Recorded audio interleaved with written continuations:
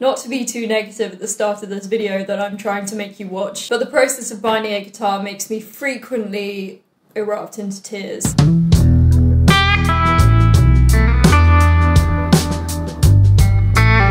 I have recently acquired a jig by Elevate, which is a company providing luthery tools out in the States. I thought I'd give it a go for you on camera to see if I can't buck the trend of um, crying at work. There are several advantages to using the Elevate binding jig over your regular cradle jig. First one's pretty straightforward, it's just that it is a lot smaller than your average binding jig. Now, if you're building a guitar, you probably haven't got like a big huge workshop to play around with. If you do, fantastic. Can I come and visit? So with a binding jig like this, you're looking at a lot of uh, space-saving opportunities. The second advantage I can think of is the setup time. You don't have to worry about everything being square to the cradle, to the bench. As you'll see, it's you just go. You just get up and go, and it's really, really easy, straightforward, and quick. So you shave a lot of time off there, which every little helps, you know? The other really nice thing about this jig is that when you have your binding and purflings, you can actually set the jig up so it will cut the exact thickness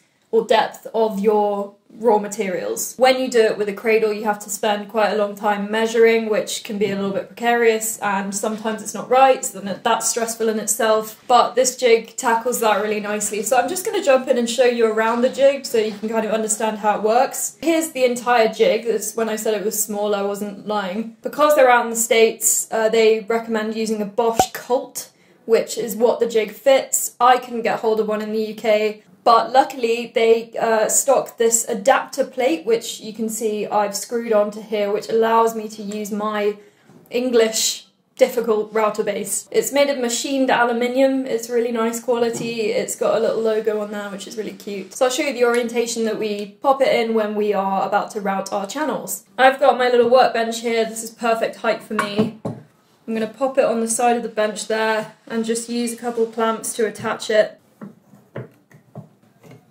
Again, super easy, um, and yeah, it doesn't feel like it's taking up a lot of space, which is normally my concern when I'm using binding equipment. You know, you've got to make sure everything is out the way. Uh, it's, it's a bit stressful. So this is nice because I know where everything is. It's right here.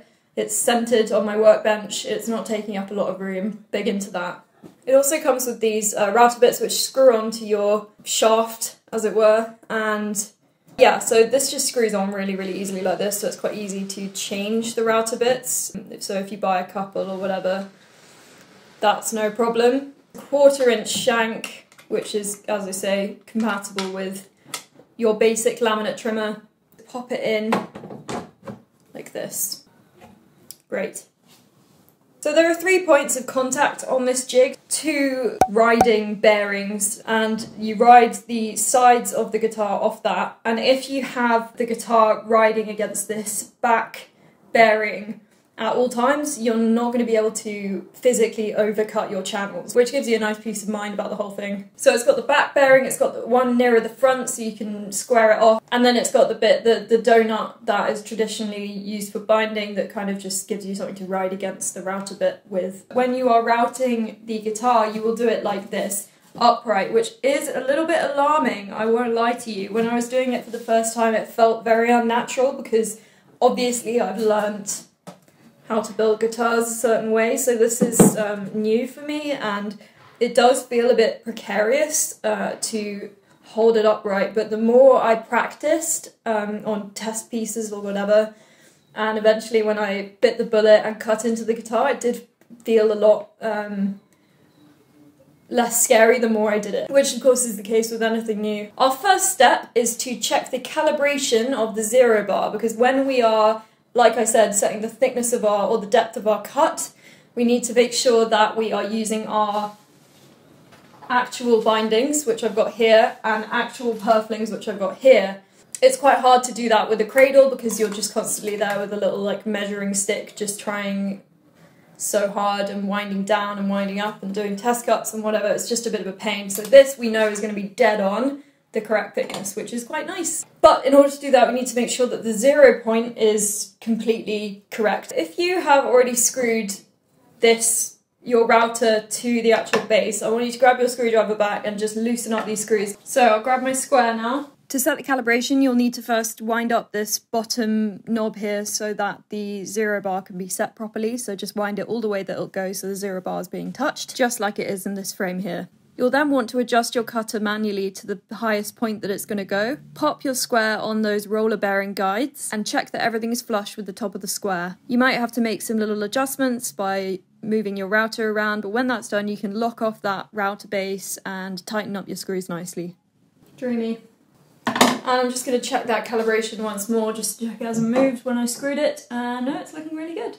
So now we can, as I say, take our binding and use it as a real-time thickness gauge for the cut that we are about to make. All you need to do here is just wind down the same knob that you used when you were setting point zero to the thickness of your materials. Lock it off and that's as easy as it gets. It, when you're doing this with purfling, you just want to add the purfling and the binding together and same deal, that's completely your purfling set.